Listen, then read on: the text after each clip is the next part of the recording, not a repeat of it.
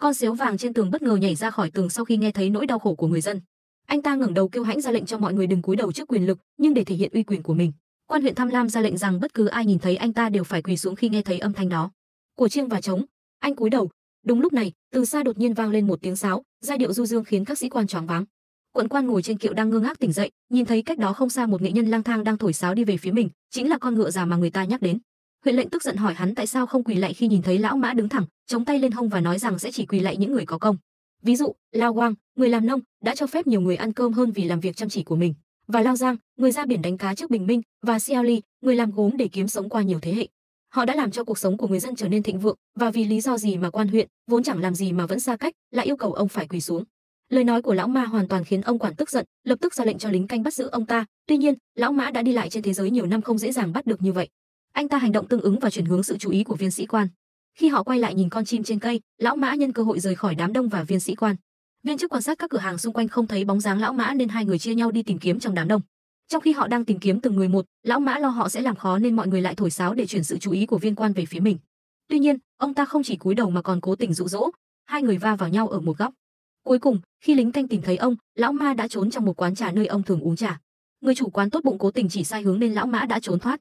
Đêm đó, quán trà chật ních khách vì đó là đêm cuối cùng lão mã chơi cho họ. Là một nghệ sĩ lang thang, anh cần phải đi đến những nơi khác để mang lại niềm vui cho nhiều người hơn. Lão mã và những vị khách ở đây vốn đã là bạn cũ, cũng không thể tách rời nhau nên ông quyết định vẽ một con hạc màu vàng lên tường trước khi rời đi, để lại cho mọi người dùng làm trà và giải trí sau bữa tối, thêm niềm vui. Đồng thời, tôi cũng mong con người sẽ giống như con hạc vàng này, không sợ quyền lực. Không lâu sau, lão mã rời quận. Người ta biên soạn những khó khăn trong cuộc sống thành những giai điệu và hát theo con hạc vàng trên tường. Những người hầu bên ngoài quán trà được lệnh luôn giám sát nơi này và chờ đợi con ngựa già xuất hiện. Hạc bỗng nhiên hoạt động, nhìn thấy liền nhảy ra khỏi quán trà, lập tức chạy lại báo cho huyện lệnh. Một lúc sau, bầu không khí sôi nổi bị huyện trưởng tham lam phá vỡ. Bỏ đi và sai hai lính canh bắt Hoàng Hách đang nhảy múa. Tuy nhiên, Hoang He đã quay trở lại bức tường. Hai người lính canh cảm thấy khó tin về cảnh tượng này. Thấy vậy, ông chủ quán trà đã xin huyện lệnh thả Hạc vàng đi và nói rằng ông sẽ chỉ cho người nghèo, những người nghèo đến khiêu vũ, nhưng những gì ông nói đã làm dấy lên sự bất mãn của quan huyện. Đến nay ông vẫn chưa lấy được những thứ không thuộc quyền quản lý của mình nên đã ra lệnh cho lính canh phá bỏ bức tường và chuyển chúng về nhà của anh ấy, từ từ đánh giá cao nó. Ngôi nhà của quận trưởng tọa lạc trên một vùng đất quý giá với cảnh sắc tươi đẹp. Vào thời đại mà người ta thậm chí không đủ cơm ăn áo mặc, ông đã có thể sống trong một sinh thự rộng lớn. Những chiếc rầm được chạm khắc và những ngôi nhà sơn màu đẹp đẽ biết bao, điều đó cho thấy cuộc sống của người dân còn khốn khổ đến nhường nào.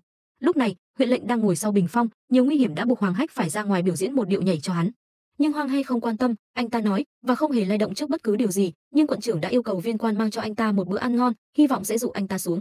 Tuy nhiên, trước mặt con ếch đến gần như vậy, anh ta không hề nao núng trước quan huyện, cảm thấy mình không biết thiện ác, liền yêu cầu quan huyện đánh mình bằng một cây xào tre.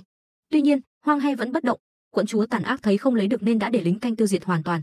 Vì vậy, họ đã dùng một chiếc cọ đầy sơn để bôi đi con xếu màu vàng, nhưng thật kỳ diệu, nó dần dần xuất hiện trở lại. Ông cho rằng đó là vấn đề về màu sắc nên đã yêu cầu người bảo vệ thay đổi nó cũng giống như câu nói ra khỏi bùn không vấy bẩn. Nó trong sáng và sạch sẽ nhưng không ma quỷ. Hạc vàng là biểu tượng tượng trưng cho những con người không sợ quyền lực và tình cảm cao đẹp không sợ tham lam, phản bội chính mình sẽ luôn mang một màu sắc mới. Khi tiếng sáo của lão ma lại vang lên, Hoàng Hách biết dân cần cù cần mình, liền ngẩng đầu kêu lên vài tiếng. Chuẩn bị bay đi, anh ta nhanh chóng chạy tới và ghim anh ta vào tường. Hoàng Hách dùng chiếc mỏ mảnh khảnh chọc vào trán quận trưởng, sau đó đạp lên người hắn chậm rãi hướng về phía cửa sổ, định rời đi. Thấy Hoàng Hách chuẩn bị bay đi, huyện lệnh lập tức sai quan đuổi theo, nhưng vẫn là đã muộn một bước. Hạc vàng đã ra đi không bao giờ trở lại, mây trắng ngàn năm vẫn trống rỗng. Anh lại đến lão mã để giải khuây, giải trí cho những ngư dân vừa trở về. Ngày nay có rất nhiều tiên nhân như Hoàng Hách chỉ có thể than thở rằng ngày xưa người ta đã đưa Hoàng Hạc rời đi, Hoàng Hạc tháp ở đây trống rỗng.